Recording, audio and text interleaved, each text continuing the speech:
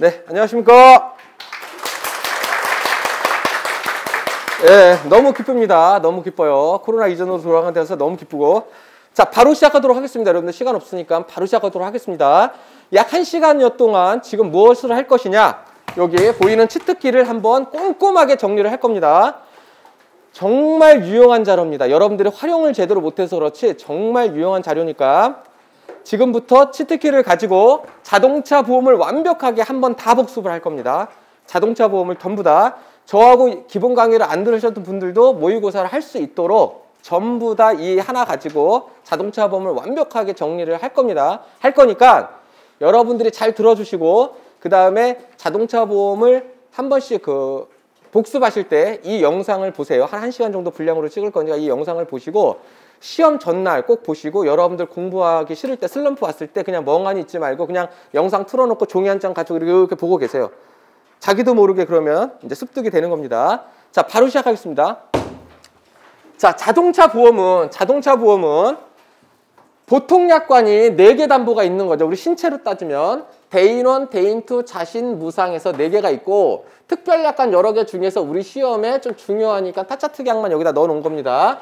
그런데 타차 특약도 사실 알고 보면은 대인 2하고 자신이에요. 알고 보면은 그렇기 때문에 결국 뭐다? 우리는 이 네 가지 담보를 기억하면 된다는 거예요. 기억하면 되는 거예요. 되는 거고 요 세 개, 요 세 개는 사고 현장에 꼭 피보험 자동차가 있어야지만 되는 담보들이고 여기 두 개 담보는 사고 현장에 피보험 자동차가 꼭 없어도 됩니다. 그래서 제가 항상 문제 풀 때 그림을 그려봐서 어 자동차는 집에 있는데 보험사만 등장했어. 근데 그 차 저기 피보험자가 운전대를 잡고 있네. 그러면 얘하고 얘가 쟁점이고 운전대를 안 잡고 있네. 그러면 얘만 쟁점이다. 이제 그런 말이 나오는 거예요. 만약에 피, 피보험 자동차가 없, 없는데 보험사만 등장했는데 이거를 검토하고 있다. 그럼 틀리는 겁니다. 그 사람은 틀리는 거예요. 일단 이 두 개. 물론 여기에서의 여기는 다른 거예요. 대인투 자신이 있지만 타차에서의 대인투 자신은 살짝 다릅니다. 살짝 달라요. 자, 그러면 어떤 사상자한테 어떤 담보, 어떤 사상자가 있어요. 대인원이 부책이냐 면책이냐 대인2가 면부책, 면부책, 면부책을 그럼 어떻게 판단하냐 어떻게 판단하냐 보상 책임 발생 요건 이 네모칸 하나하나가 보상 책임 발생 요건인데 이 보상 책임 발생 요건을 만족하면 그냥 보상하는 거예요 그냥 보상하는 겁니다 그래서 하나씩 보겠습니다 대인배상원의 보상 책임 발생 요건을 하나씩 보시면 기본적으로 주체 무슨 주체? 대상 책임의 주체. 그러니까 쉽게 얘기해서 가해자죠. 가해자가 피보험자여야 돼요. 아, 좀 더 크게 할까요? 글씨가 좀 이게 더 크게가 되나?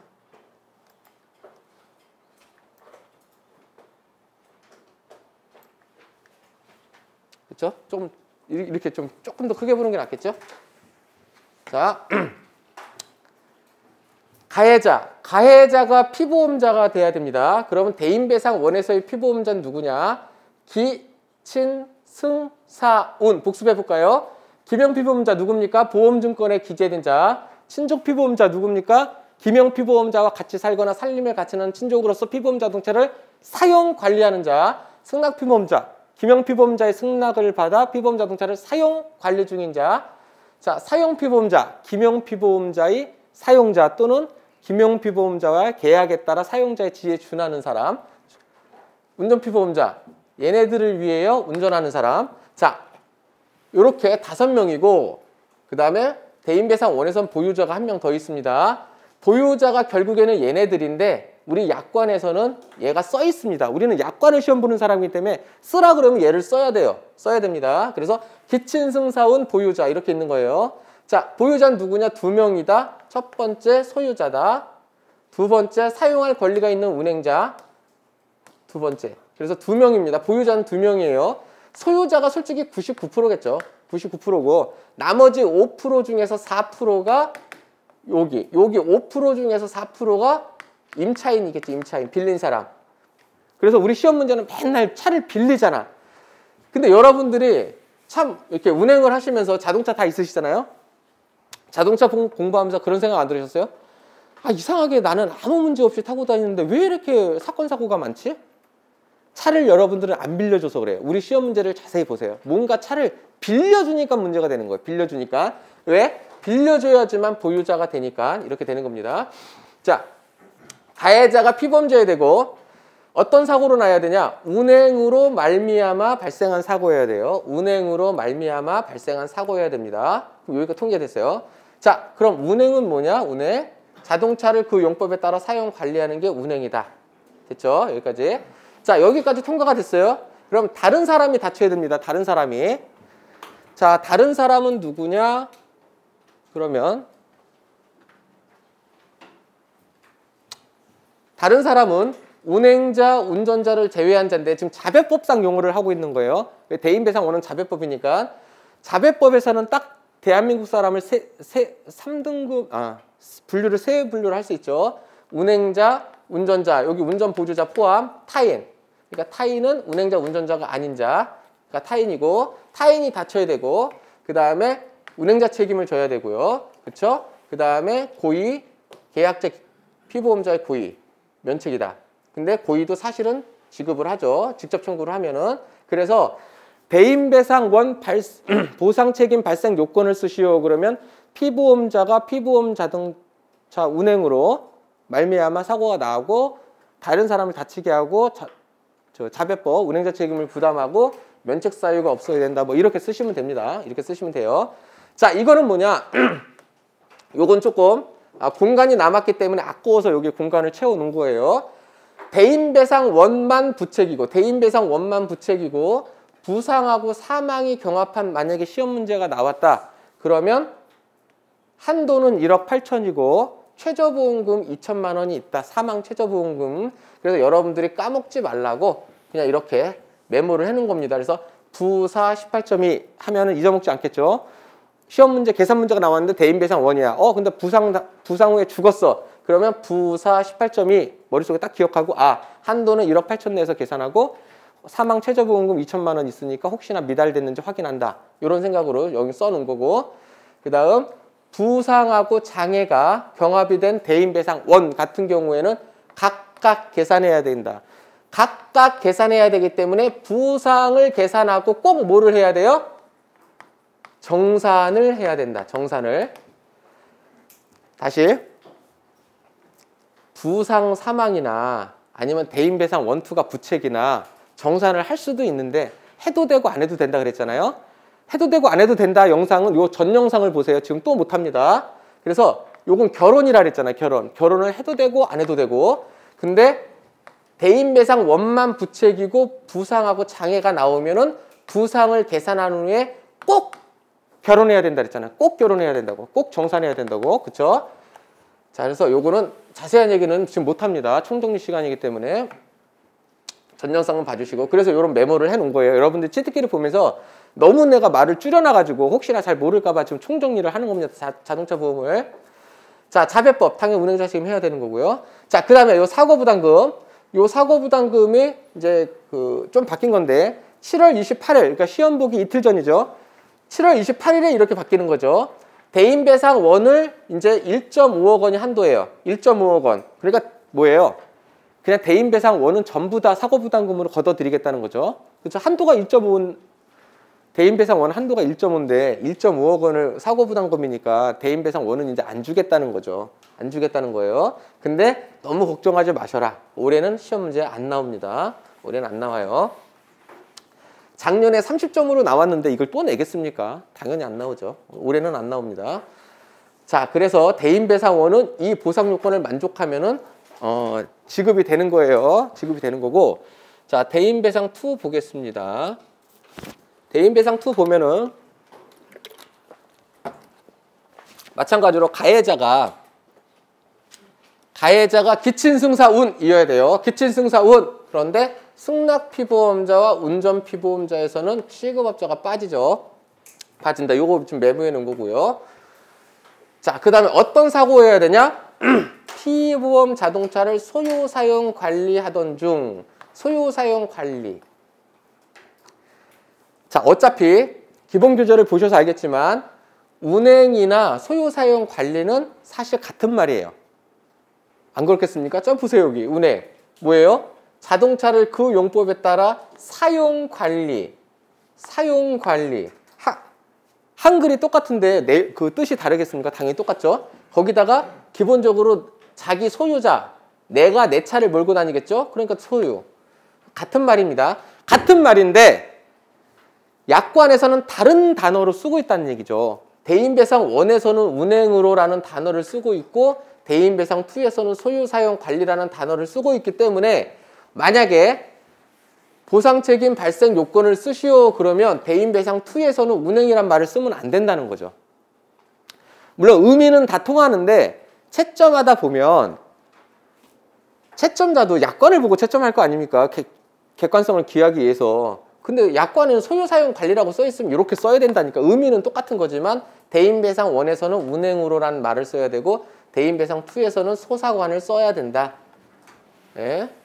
자, 그 다음 다른 사람을 다치게 해야죠. 다른 사람은 여기 플러스라고 한 거는 이 앞에 것도 있다는 거예요. 왜? 대인배상 2는 자배법하고 민법을 담보하기 때문에 담보하기 때문에 타인도 자배법상 타인이 있고 민법상 타인이 있는 거죠.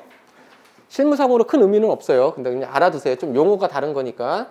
그래서 타인이 얘는 민법에 해당하는 타인, 얘는 자배법에 해당하는 타인 그렇게 돼 있는 거죠. 자, 법률상 손해배상 책임은 두 개죠. 자배법, 민법만 생각하시면 됩니다. 민법도 750조, 756조만 생각하시면 돼요. 우리 실 우리 실무에서는 그 다음에 면책 사유가 없어야 된다 그랬죠. 면책 사유는 크게 대인배상2는 일정한 상황에 의한 면책 사유가 있고 일정한 인적 관계의 면책 사유가 나눠져 있습니다. 이렇게 나눠져 있어요. 자, 하나 볼게요. 다시 고, 고의죠. 대인배상2는 투고다. 그래서 계약자 김영피보험자의 고의, 김영피보험자 이외의 고의. 전자는 피보험자 개별 적용이 안 되고 후자는 피보험자 개별 적용이 된다. 전쟁, 혁명, 내란 사 전쟁, 혁명, 내량, 사변, 격동, 소요, 그렇죠? 지진, 분화, 태풍, 홍수, 해일, 핵, 연료 물질의 직간접적 영향, 영, 영 리를 목적으로 요금이나 대가를 받고 반복적으로 피보험 전상 사용하거나 사용할 때 발생한 손해, 제3자와의 계약으로 인해서 늘어난 손해, 그 다음에 시험 변경으로 사용하다가 발생한 손해. 그래서 고전지액 연계 시 꼭 외워두셔야 됩니다. 왜냐하면 요것만 10점짜리로 물을 수가 있어요. 내지는 요것만 10점짜리로 물을 수도 있고 단순하게 그렇게 돼 있고 자, 그 다음에 인적 면책 사유라고 하죠. 그래서 피보험자, 피보험자 또는 그 자, 보세요. 피보험자 또는 그, 그는 여기 해당되는 요 피보험자죠. 요 피보험자의 부배자. 그래서 기명 피보험자의 부배자가 될 수도 있는 거고 승낙 피보험자의 부배자가 될 수도 있는 거고 해당되는 그 피보험자의 부배자는 보상하지 않겠다. 그 다음에 피용자 보상하지 않겠다. 동료재 보상하지 않겠다. 뭐 이런 얘기가 있었죠. 그래서 대인배상 two 보상 책임 발생 요건을 쓰시오. 그러면 피보험자가 피보험 자동차를 소사관하는 동안에 사, 발생한 사고로 인해서 다른 사람을 다치게 하고 법률상 배상 책임을 질 때 보상한다. 다만 면책 사유가 없어야 된다. 이렇게 쓰는 거예요. 그런데 자 우리 시험은 분량, 분량을 생각하셔야 되거든요. 분량에 따라서 지금 제가 얘기한 것처럼 간단하게 쓸 수도 있는 거고 대인배상 2만 물어봤다. 대인배상 2만 보상책임 발생 요건을 쓰시오 15점. 그럼 어떻게 써야 되겠습니까? 지금 제가 말한 걸로는 두세 줄밖에 안 나오잖아요. 말한 거는 그렇게 쓰면 안 되고 그렇게 쓰면 안 되고 이제 쓰, 이렇게 풀어서 쓰는 거죠. 주체 이걸 다 풀어서 쓰고 풀어서 쓰고 기친 승사운도 한번 설명해 주고 이렇게 풀어서 그래서 강약은 여러분들이 좀 요령껏 조절을 하셔야 된다. 자, 그 다음 자기 신체 사고 보겠습니다. 자기 신체 사고 같은 경우에는 좌동, 좌동이라고 쓴 거는 얘랑 똑같다는 의미로 이렇게 쓴 겁니다. 말을 최대한 줄여야 되기 때문에 좌동, 즉 자기 신체 사고에서의 주체, 무슨 주체?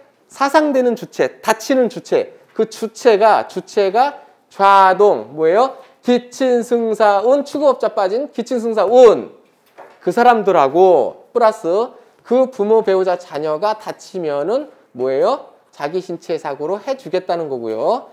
상해보험이기 때문에 두 가지로 나눠져 있습니다. 사고가 어떤 사고일 때 주냐? 운행으로 말미암아 일어난 사고일 때 해주고 또는 운행으로 말미암지 않더라도 운행 중에 탑승만 하고 있으면은 이렇게 물체와 충돌, 화재, 추락 이럴 때 해주겠다. 해주겠다. 이렇게 돼 있습니다. 이건 상해 보험이기 때문에 그리고 자신하고 무상은 상해 보험이기 때문에 상해 보험이기 때문에 여기 칸이 없는 거죠. 지금 대인 배상은 배상 책임이기 때문에 그렇죠? 대인 배상은 배상 책임이기 때문에 여기 칸이 있는 거고 여기 두 개 칸이 있는 거고 자신하고 무상은 배상 책임이 아니니까 법배책이 없단 말이에요. 법배책이 없으니까 요 칸이 남아. 요 칸이 남아갖고 제가 그러면 지급 기준, 보험금 지급 산출하는 방법을 여기다 간단히 써놓은 겁니다. 써놓은 거예요. 자, 그래서 자기 신체 사고는 어떻게 계산을 하냐. 두 가지로 나눠져 있습니다. 두 개로. 그래서 공제액이 있을 때와 없을 때 공제액이 없, 있을 때에는 실제 손해액을 계산합니다. 실제 손해액 뭐죠? 과실 및 보상 한도를 규정하지 않은 저 아직 과실 및 보상 한도를 적용하지 않은 총 손해액이 실제 손해액이죠. 실제 손해액 그래서 실제 손해액은 지급 기준으로도 계산할 수 있고 판결내로도 계산할 수 있어요. 플러스 비용. 비용은 뭡니까? 두 개가 있죠. 손해방지 경감 비용, 권리 보존 행사 비용 이렇게 두 개밖에 없습니다. 마이너스 공제액. 공제액은 뭐가 있죠? 대인배상 원투. 내 차든 상대방 차든 대인배상 원투를 받으면 공제하고 무보험차 상해를 받았으면 공제하고 배상 의무자 외의 제3자한테 받았으면 공제합니다. 반대로 말하면 배상 의무자한테 받은 거는 공제 안 하는 거죠. 자신에서는 공제 안 하는 겁니다. 배상 문제 받은 거. 다 선행 문제 풀이나 정규 문제 풀이에서 다 이거 문제화 했던 겁니다. 지금 총복숨 시간이니까 질문 뭐 저것도 뭐예요? 이렇게 질문하시면 안 돼요. 지금 총복숨 시간입니다.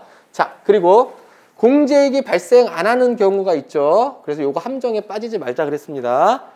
내가 하실 100% 사고 내지는 뭐 신호위반, 중화선 침범 해가 내가 100% 과실 사고 있을 수 있고 아니면 내가 단독 사고가 나서 다른 어디에서도 이런 걸 받을 데가 없는 거예요. 무상이나 대인배상 원투나 제3자나 받을 데가 없는 거야. 그럴 때에는 공제액이 없는 걸로 봐서 정액으로 지급한다. 그 보험증권에 기재된 정액으로 지급합니다.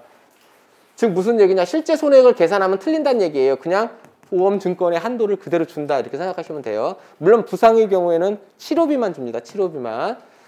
자 이렇게 돼 있는 것이고 그 다음 면책사유 보시면 자기 신체 사고에서 면책 사유는 자 좌측 1에서 즉 요것만 이제 얘기하는 거예요. 1에서 고전지핵 연계 시에서 개하고 개하고 태용해 지진부나 태풍수 해일 여기서의 태용해를 보상한다. 즉 나머지는 똑같다. 고전지의 연계시 중에서 얘하고 계약으로 늘어난 손해하고 태용해만 보상하고 나머지는 고전제 연계시랑 똑같다. 그런데 고가 다르다. 상해보험이라서 고가 다릅니다. 여기서의 투고는 계약자 김, 김영피보험자의 고의, 김영피보험자 이후의 고의였는데 여기서의 고는 투고는 맞는데 투고, 투고는 맞는데 상해보험이기 때문에 고의 있는 피보험자 면책한다는 내용하고 그 다음에 보험금 받을 자의 고의로 인할 때 그 그 사람이 받을 금액을 면책한다. 이렇게 투고인데 내용이 좀 달랐죠. 달랐습니다. 자, 무보험차 상해 한번 정리해 보겠습니다. 무보험차 상해. 자, 무보험차 상해 피보험자부터 보면 무슨 피보험자냐? 다치는 피보험자. 주체, 다치는 주체. 요건 상해보험이니까 요거는 배상 책임을 부담하는 주체인 거고 얘는 상해를 입는 주체, 다치는 사람 주체. 그 주체가 피보험자여야 된다. 그래서 김용 피보험자 또는 배우자 그 부모 자녀는 탑승 불문합니다. 탑승 불문하기 때문에 피보험 자동차가 사고 현장에 없어도 되는 거예요. 그리고 그리고 또 한 가지 또는이라고 돼 있기 때문에 배우자의 자녀 뭐죠? 계자녀죠. 나를 기준으로 배우자의 자녀는 계자녀죠. 거기서 계자녀도 어, 우리 무범차상의 피보험자가 되는데 여기서의 배우자 김영 피보험자의 배우자의 자녀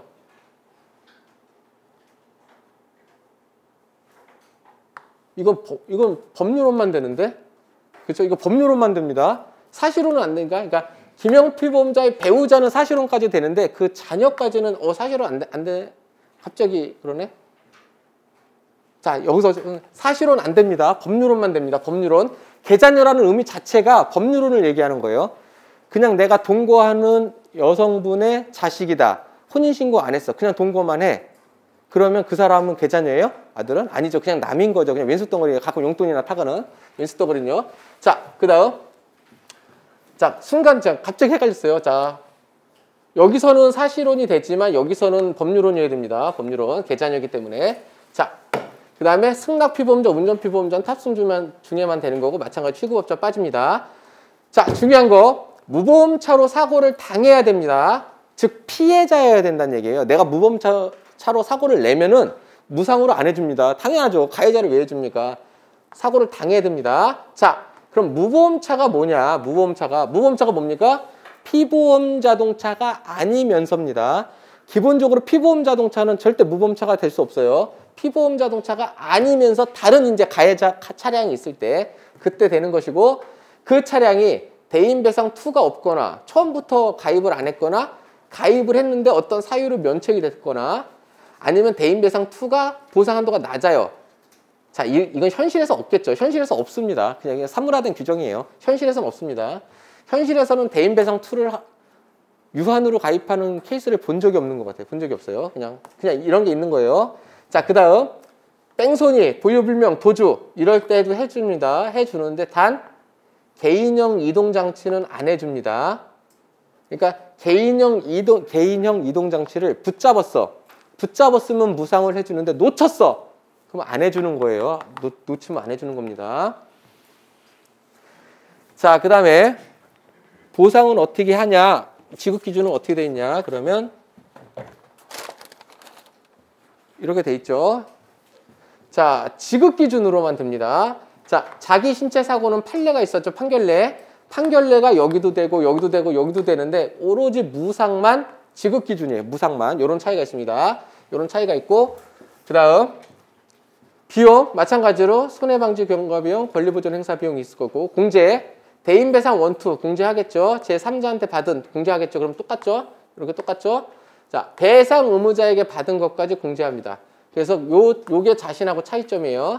자신은 배상 의무자는 공제 안 하지만 무상은 배상 의무자 즉 가해자한테 받는 거는 공제를 하는 겁니다. 공제를 하는 거예요. 자 이렇게 정리를 한번 해봤고요. 그 다음에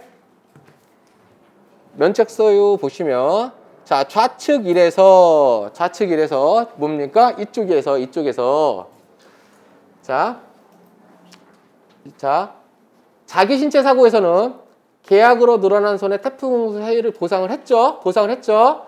그런데 무상으로 넘어오면은 계약으로 늘어난 손해는 여전히 면책해요. 아니 여전히 보상해 주는데 보상해 주는데 예 태웅에는 무상에서는 면책을 합니다. 자신에서는 부책하고 무상에서는 면책해요. 태웅해를 면책하고 그 다음에 타차를 영리 목적으로 운전하면 또 면책합니다.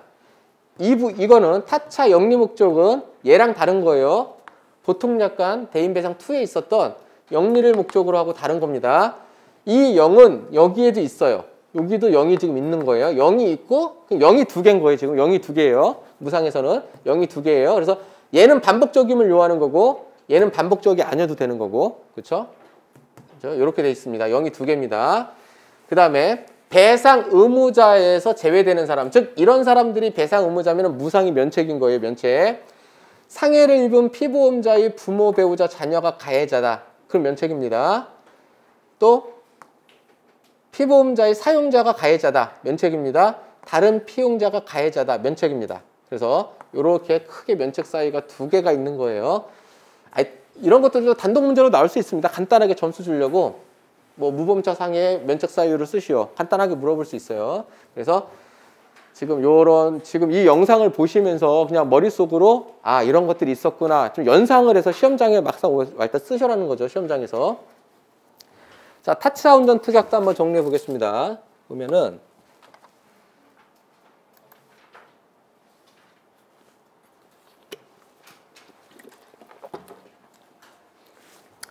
자, 피보험자부터 보시면, 피보험자부터 보시면,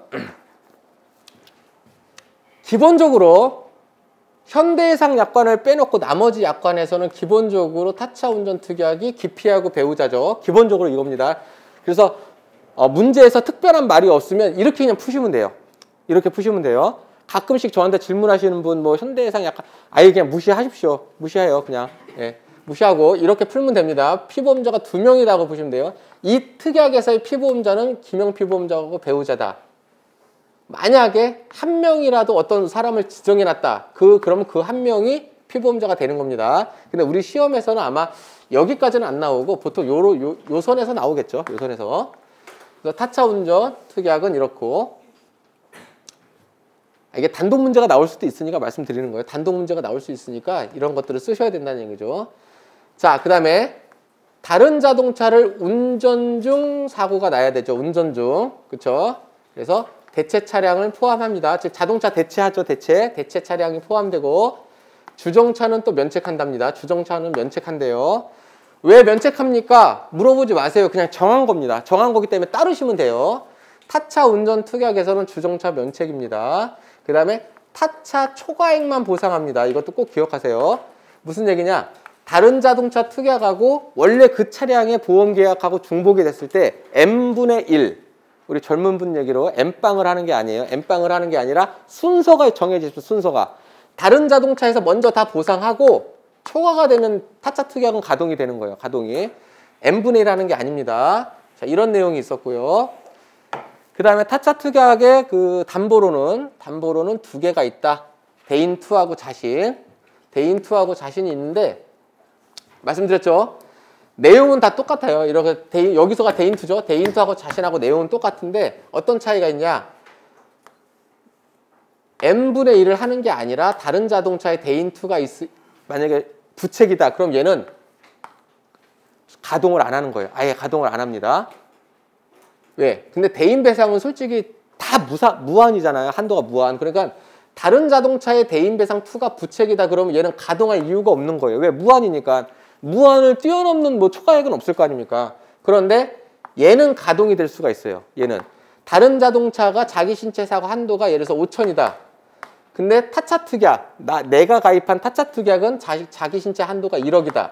그럼 얼마 차이 나요? 5천 차이 나죠? 5천을 추가로 받을 수 있는 거예요. 타차 특약에서. 추가로 받을 수 있는 겁니다. 그런 차이가 있고 또 보통 약관에서는 보통 약관에서는 자기 신체 사고 피보험자가 기친 승 사운 그 부배자였는데 타짜 특약에서의 자신의 피보험자는 누구라고요? 기피하고 배우자만 된다 그랬잖아요. 그래서 부모나 자식이 면책이 되는 겁니다. 우리 현대이상 약간 빼놓고 현대이상 약간 빼놓고 면책이 돼요. 근데 실상은 뭐 실무에서는 근데 FM으로 막 면책시키지는 않아요. 그냥 지급을 하는데 어쨌든 우리는 이제 약관을 공부하는 사람이니까 면책이 맞죠. 문구 그대로 해석하면 면책이 맞습니다. 자, 그 다음 면책 사유 보시면 면책사유. 플러스라고 한 거는 얘, 얘랑 똑같다는 얘기예요. 얘랑 똑같다는 얘기입니다. 이렇게 똑같다는 얘기예요. 여러분 공부하실 때 이렇게 연상하시라고 계속 이렇게 만들어 놓은 거예요. 즉 뭐예요? 무상에서 0이 두 개였죠. 여기도 0이 있고 여기도 0이 있고 두 개였죠. 그 두 개가 똑같이 타, 다른 자동차 특약에서도 있는 거예요. 즉 여기도 0이 두 개입니다. 여기도 0이 두, 개, 두 개예요. 그 외에 그 외에 이거 외에 이만큼이 더 있다는 거죠. 이거 외에 이만큼이 더 있다는 거예요. 면책 사유가. 뭐가 있냐? 타차 운전 특약이니까 뭔가 다른 자동차를 운전했겠죠. 그 다른 자동차가 사용자 차량이든지 법인 차량이면 면책하겠다는 거고 그 다른 자동차가 취급업자로서 운전 내가 지금 취급업자로서 고객차를 운전하고 있다 그럼 다른 자동차로 안 보겠다는 얘기고 그 다음에 타차 소유자에 대한 법배책 타차 소유자에 대한 법배책을 면책하니까 타차 소유자를 자신으로 보상하는 거죠. 타차 소유자에 대한 법배책이 면책되니까 자기 신체 사고로 보상하는 거죠. 당연히. 그렇게 구조가 되어 있는 거고요. 그 다음에 무단운전, 즉 허락받지 않은 운전일 때는 타차 특약이 면책이고 그 다음에 아래라고 쓴 거는